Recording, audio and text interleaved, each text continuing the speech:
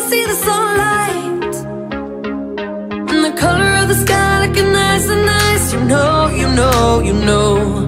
Baby, I can see us in the real life You know, you know, you got